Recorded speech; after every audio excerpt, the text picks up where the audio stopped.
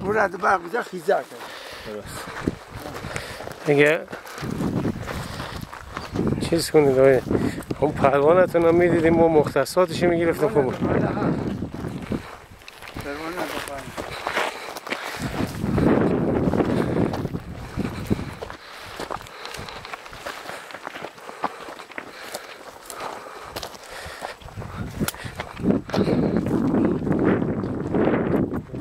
معدن اینه که باطل برداریش خیلی زیاده و رگه ایست وقت از من چهاشیش که خبر نداره نه هیچ.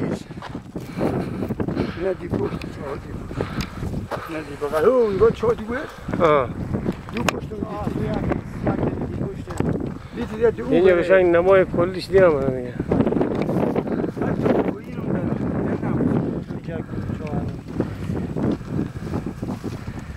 اینجوری که معلومه مال تا منظر آخر او یعنی بیشتر از حدود دو کیلومتر منطقه رگه شماست نه؟ نه. دو کیلومتر هست دیگه. حالا هست، دو هست، کیلومتر نباشه 1500 متر حتما هست. تا او آخر هست بود بعد پشت این دره هم که میگین دو سه تا چادر بله نه؟ دمی پشت بله هست. دمو جو هر چاه می‌بینی دو برشم دیتست دمو پشت.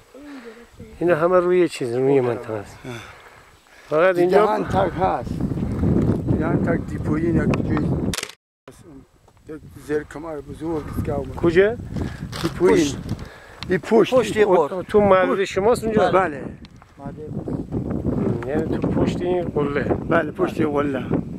شماره 22 ما چند؟ تا چند شماره دارین؟ تا 22 تا دمی شماره 22 تا یعنی جایی که مس هست. ما های مهندس برتا مهندس سینی گفتن اینجا هست مثلا اونجا گفته اونجا اونجا می‌گیرم شماره بزیه خب.